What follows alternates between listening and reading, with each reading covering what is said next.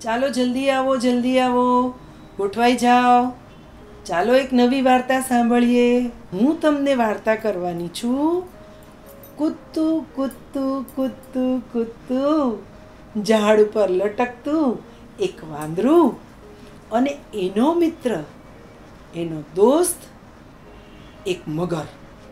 બાપરે, મગરનું મોઢું જોયું છે? કોઈ દિવસ ખુલ્લું? મોટું મોઢું ખોલે. અને પછી એમાં મોટા મોટા દાંત હોય. નહીં તો આપણને ખાઈ જાય, બહુ બીક લાગે. એ રે ક્યાં? તળાવની અંદર મગર રે. એનું ઘર તો તળાવની અંદર પાણીમાં ઊંડે ઊંડે હતું. અને ત્યાં બહુ બધા ઝાડ હતા.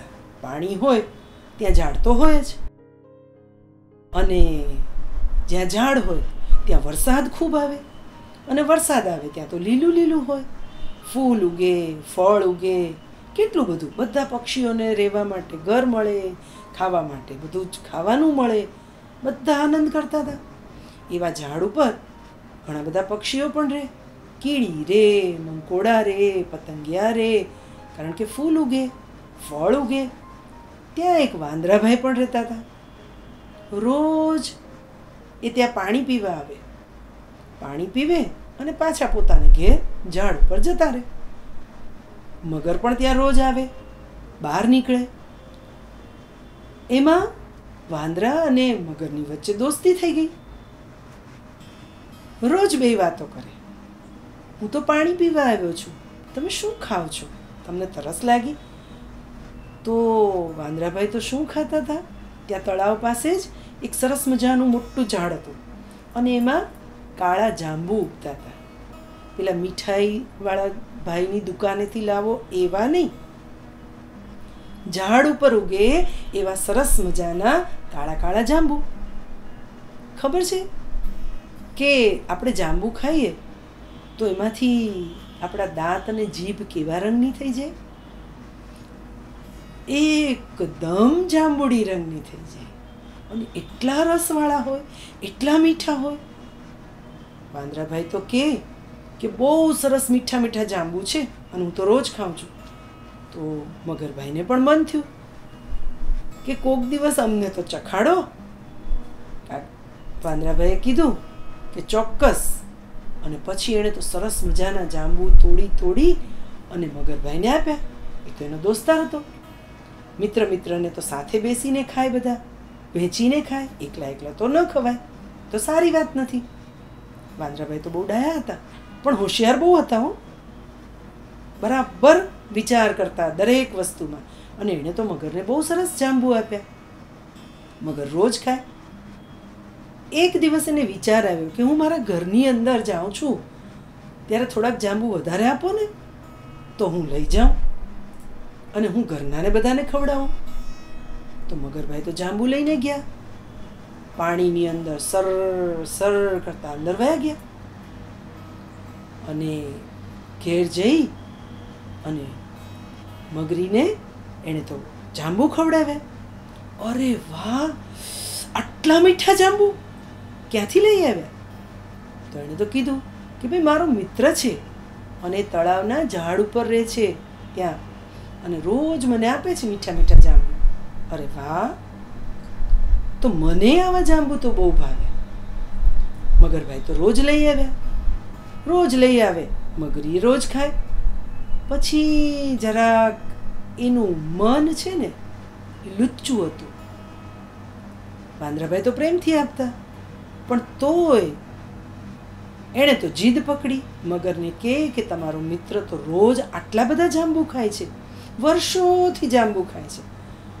તો જો જાંબુ આટલા મીઠા હોય તો આ વાંદરો રોજ ખાય છે, તો એની અંદરનું કાળજું કેવું મીઠું હશે? મારે તો એ કાળજું ખાવું છે. નહીં તો હું તમારી સાથે નહીં બોલું. હું ઘરમાં કાંઈ બનાવીશ નહીં, કોઈને ખવડાવીશ નહીં. અરે બાપરે, આવી જીદ હોય? મિત્રને ખાઈ જવાની જીદ હોય? ના, મને તો એનું કાળજું જોઈએ એટલે જોઈએ. મગરભાઈ તો બિચારા સમજાવીને થાકી ગયા. કરવું શું? એણે તો એક વખત જઈને કીધું વાંદરાભાઈને કે ચાલો ને હું તમને મારું ઘર બતાવું. વાંદરાભાઈને તો એમ થયું કે આટલો મારો સરસ મિત્ર છે. એટલે વિશ્વાસ મૂક્યો. પાક્કો મિત્ર. તો વિશ્વાસ તો મૂકવો જ જોઈએ ને. પ્રેમથી રહેતા હતા. વાંદરાભાઈ તો મગરભાઈના પીઠ ઉપર બેસી ગયા. મગરભાઈ તો પાણીમાં સરળ સરળ સરળ ચાલવા માંડ્યા. અંદર, પાણીની અંદર જ્યાં ઘર હતું ત્યાં લઈ ગયા. રસ્તામાં એનાથી કહેવાય ગયું. મગરભાઈનો સ્વભાવ તો સારો હતો. એ તો વાંદરાભાઈની સાથે સાથે સાચી મિત્રતા રાખતા હતા. અને એણે કીધું કે હું તને શું કામ લઈ જાઉં છું ખબર છે? મારા ઘરમાં જે મગર છે ને, એને તારું કાળજું ખાવું છે. તું રોજ આટલા મીઠા જાંબુ ખાય છે એટલે એને તારું કાળજું મીઠું મીઠું લાગશે. અને એને ખાવું છે. એને જીદ પકડી છે. અરે ભગવાન!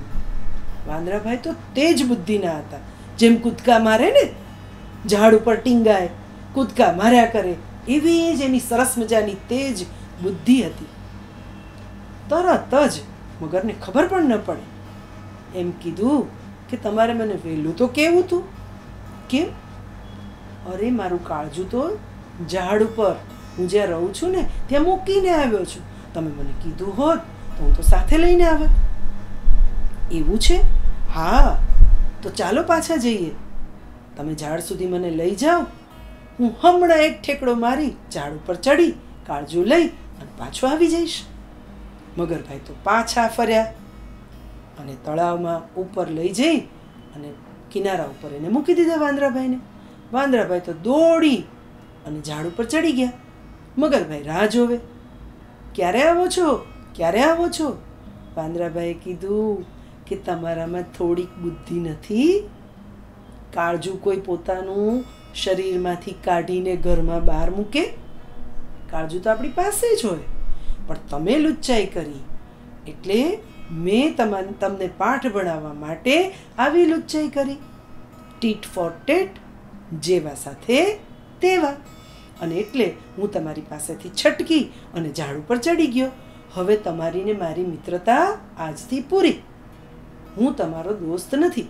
કોઈ પાક્કો મિત્ર પોતાના મિત્રને હેરાન કરે, ન કરે. તમે તો એવું કર્યું. એટલે આપણી મિત્રતા પૂરી.